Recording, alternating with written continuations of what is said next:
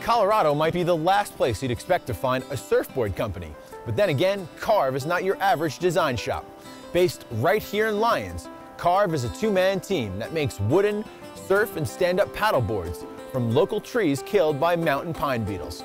Made with little harm to the environment and almost entirely free of petroleum products, its boards are changing the way we think about the surf industry.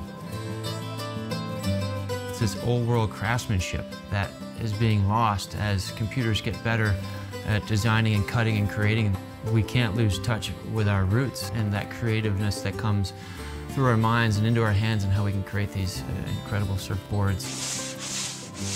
The most enjoyable part about my job really is, you know, taking what for the most part is, you know, a solid block of, of wood and, and creating these, these curved shapes and lines. And within a day or two, you've got this craft that you can then take on the ocean and uh, have this incredible and enjoyable ride. I started woodworking when I was eight years old. My first job was working with my dad. Slowly, it just kind of mutated over the years into uh, being a woodworker, but finding projects that were that much more rewarding. Ryan Whitbeck founded Carve Industries in 2008 after building two wooden catamarans with his brothers, then sailing them throughout the Caribbean. During the construction of our second 50-foot wooden catamaran uh, is where Carve all began. It kind of just became a natural progression of our woodworking careers to go from wooden boats into surfboards. After almost 10 years of sun, salt water, and handcrafting boats, Ryan set his sights on the Rockies. Life is about lifestyle, where you live, and it's either mountains or oceans. So we chose to uh, go back to the mountains.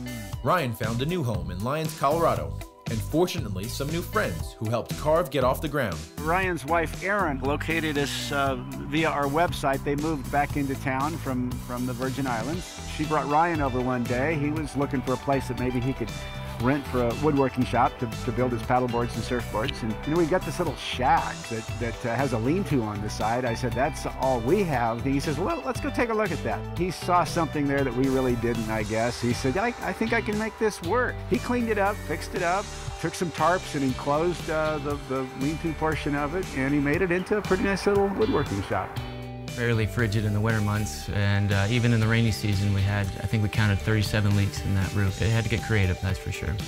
Before long, Ryan moved Carve to a brand new shop in the heart of town.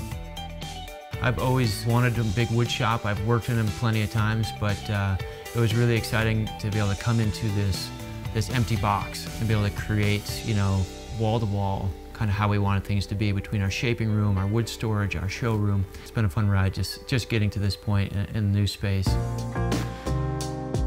It's just as important to me to, to embrace the environmental side of the construction as well as just the lost trade of woodworking. Environmentally, obviously our boards represent an upper echelon. Um, they're made with sustainable, renewable resources. We use a green epoxy that's made from pine sap. Um, we try and keep our petroleum use to a minimum. Our beetle kill is a huge component of what we're doing. It's here and it needs to be used and it's just laying in waste on the mountainsides.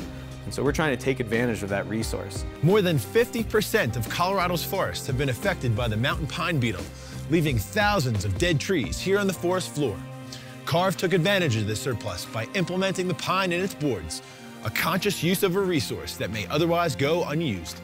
Aerial estimates say that about 50 to 60% of pine forests have some incidence of bark beetle epidemics in them.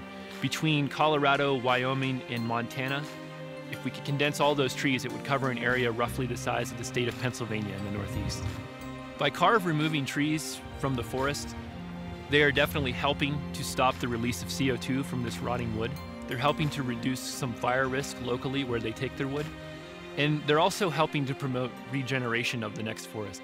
This wood, as long as it's lying here, is keeping a lot of understory plants and other trees from growing back up. Currently, Carve is the only company in the United States making boards out of trees killed by the mountain pine beetle. Beetle kill pine being right out our back door, where we know the hillsides and mountainsides where these trees come from. It's really important to me. We've never claimed to be uh, a totally green company. You know, we're, we're making efforts to be as green as we can be. Wood boards have their place just as foam do, you know, and there's just going to be certain applications that, that a foam board may perform better than a wood board. But for the average surfer, these boards can do everything that you need them to do.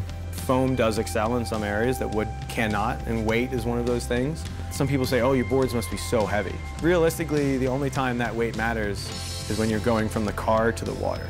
The reality is the weight, once you're on the water, really doesn't make that much of a difference. It's a very different ride. It's a much smoother, softer feeling uh, underneath your feet than, than I've had with foam. Uh, the way they absorb vibration in the water, whether it's a choppy wave or whatever it may be, such a smoother experience. The most amazing part is our lifestyle. Ryan and I have always talked about we make a difference environmentally, we give some great products out to people, but our business pays for us to do what we love to do. At the end of the day, when I go home, I'm not upset that I worked until 8 o'clock at night. It just feels great. I smell like cedar. Women love it. It's good.